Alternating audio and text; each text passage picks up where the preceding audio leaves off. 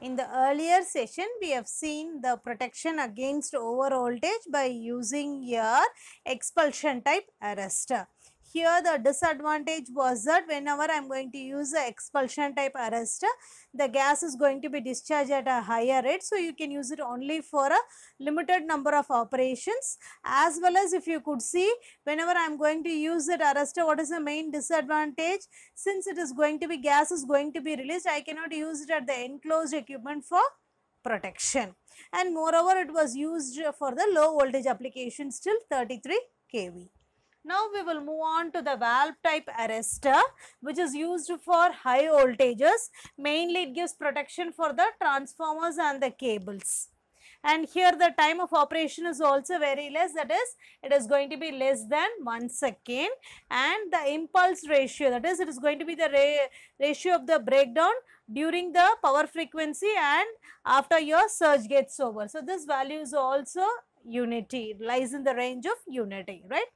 Now moving on to the circuitry, if you are going to take consider this, so you are going to have the non-linear resistors. This non-linear resistors are going to be in series with your spark gaps and the whole thing it is going to be enclosed in a porcelain housing. Okay, so here you are going to see the spark gap is going to be in series with the non-linear resistor.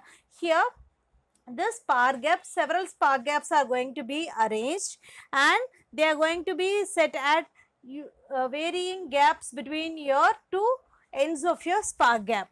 Okay? Such that under normal voltages the voltage will not be sufficient enough to cause a breaking of the uh, air gap okay and uh, it will not spark over. Whereas only during the over voltage condition due to the high voltage it sparks over and it discharges the high currents to the ground. Okay now as i told you this valve type arrestor it is going to be consisting of your spark gap okay? As well as it is going to have the grading resistor. This is the new concept what we are seeing. So this grading resistor is nothing but it is used for the linearization of the voltage. Okay? So that is the advantage of using your grading resistor. So this spark gap series of spark gap is going to be in series with your non-linear resistor. What is the function of non-linear resistor? Under normal that is non-linear resistor function is that it is going to offer a very high reactance under normal voltage. So, under normal voltage when it offers a very high reactance, so this will not create the spark over of the gap. Whereas, under over voltage condition, this will act as a low resistance path so that the high voltage or the high surge currents gets drained to the ground okay. So, this operates only during your over voltage where it offers a low resistance thereby draining all the high surges to the ground. So, this valve type arrestor it is going to be made of the material called as thyrite or metrosil. Here the main advantage is that you are going to use a spark gap okay. So, the distance is going to be adjusted in such a way that under normal voltage it is not going to create the sparking of the gap and also you are going to have additional provision of using the grading resistors for linearizing the voltage level. And the non-linear resistor made of thermo uh, thyrite or metrosil. So, to provide the low resistance during your over voltage. Now, what will happen? Under normal condition, the gap will be non-conducting because the sufficient energy is not there to cause a breakdown of the gap. So, whenever a fault occurs or a over voltage occurs in that case this high voltage is going to cause a spark over of the gap. And as a result this resistor is going to offer a low resistance using during your over voltage conditions and it drains the high surges to the ground. Okay. And here if you could see the main one of the main uh, disadvantage in this is of course you have the advantage of using at very less than 1 second which is a desirable factor and of course the impulse ratio is also unity okay? But wherein whenever i am going to check the disadvantage it cannot be used for very steep fronted waveforms okay?